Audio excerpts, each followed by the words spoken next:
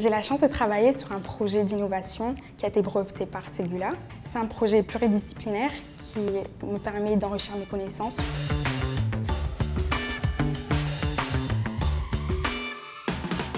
Remora est un projet de stockage d'énergie en mer qui a pour but de stocker l'énergie électrique en période de surproduction et de la restituer en période creuse. Je travaille sur la modélisation de la partie hydraulique du projet Remora. C'est la partie la plus énergivore du projet. Donc mon but c'est d'optimiser le système et ainsi d'améliorer le rendement. Ce que je pense apporter à Simula, c'est mes connaissances et mon expertise sur la mécanique des fluides. C'est un sujet qui me passionne beaucoup et j'espère apporter mon enthousiasme sur le sujet.